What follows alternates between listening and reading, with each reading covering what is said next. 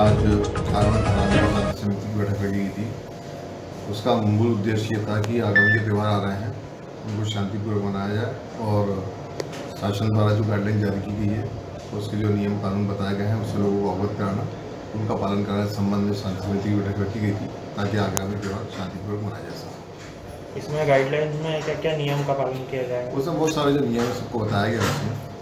उससे सबको अवगत करा देगा बहुत बड़ी नियमावली है उसमें सबको मूल मुद्दा ये था कि लोग सोशल डिस्टेंसिंग का पालन करें। इस नवरात्रि में आप लोगों को क्या संदेश देना बस लोग सोशल डिस्टेंसिंग का पालन करें कोरोना से बचें और शांतिपूर्वक त्यौहार मनाएँ जो शासन के निर्देशों का पालन करें।